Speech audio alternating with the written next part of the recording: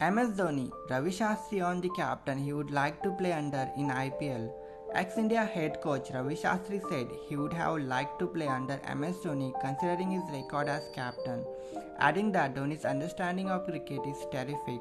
Shastri added that Mumbai Indians would have been his first choice as franchisee to play for, responding to a question about whether he likes Dhoni coolness or Kohli's aggression.